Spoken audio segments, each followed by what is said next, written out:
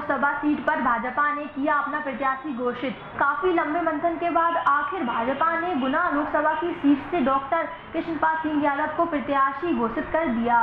के बाद अशोकनगर भाजपा में खुशी की लहर दौड़ गई और जिलाध्यक्ष कार्यालय पर के पी यादव का फूलमाला पहनाकर स्वागत किया। भाजपा से प्रत्याशी बनते ही डॉक्टर के पी यादव आक्रामक मूड में दिखाई दे रहे हैं। सिंधिया से लेकर राहुल गांधी तक हर हमला करने से नहीं चूक रहे हैं। उन्होंने मीडिया से बात करते हुए कांग्रेस को जहाँ वंशावाद की पार्टी बताया तो ज्योतिराज सिंधिया को हराने के दावा किया गया तो बेरोजगारी, शिक्षा और स्वास्थ्य के स्तर पर भी सवाल उठाए गए। विचारधारा की लड़ाई बताते हुए कहा गया कि किसी को भी पप्पू पर भरोसा नहीं है।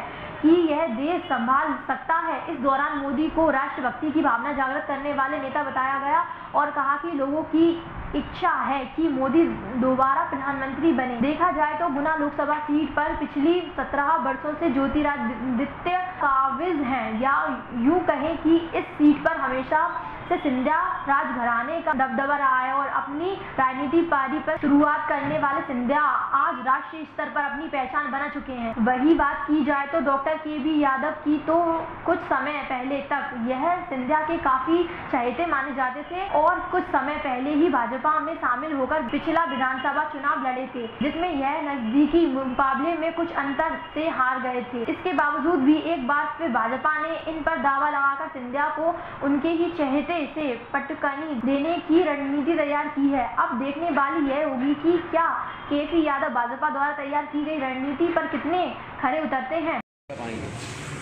चलो, आपने प्रश्न करके मेरी विचारधाराओं को बता दिया।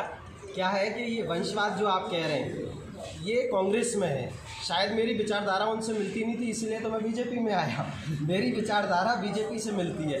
यहाँ एक छोटे से छोटे कार्यकर्ता को बिल्कुल अवसर मिलते हैं। अगर उसमें काबिलियत है और वो देश सेवा में आगे बढ़ना चाहता है तो यहाँ मौका मिलता है। वंशवाद की परंपरा ये कांग्रेस में है। वहाँ कई पीढ़ियों से कई लोग एक के बाद दूसरा दूसरे के बाद तीसरा वही चले आ रहे हैं। पिछले पिछले लोकसभा चुनावों की बात करें तो आप उन्हीं के लिए, जिनके खिलाफ आज चुनाव लड़ रहे हैं, उनके लिए ही आप काम कर रहे थे उनको चुनाव जिताने के लिए। अब आज उनके खिलाफ ही खुद चुनाव लड़ेंगे तो इसको कैसे आप कर पाएँगे? देखिए, ये विचारधारा की लड़ाई है। मेरी विचारधारा जो है, वो मैंने आपको बताई है। देश हित में और राष्ट्र हित में पिछली बार ऐसे कई मतदाता थे जिन्होंने उनको वोट दिया होगा। लेकिन आप जाके पूछोगे गाँव गाँव में, आज जो है हर कार्यकर्ता की, मान लो या हर वोटर की विचारधारा बदली है। आज की तारीख में कोई भी कांग्रेस पे भरोसा नहीं कर रहा है, किसी को भी पप्पू पे भरोसा नहीं है कि ये देश संभाल सकता है। और पिछले पाँच साल के कार्य अगर अपन नरेंद्र मोदी जी के देखें तो हर व्यक्ति में हर व्यक्ति में उन्होंने देश के प्रति, राष्ट्र के प्रति एक भावना जागृत की है कि हमें देश के लिए कुछ करना है। और अगर देश के लिए कुछ करना है तो वाकई हर व्यक्ति की इच्छा है कि मोदी जी फिर से प्रधानमंत्री बने और मोदी जी ही जीते।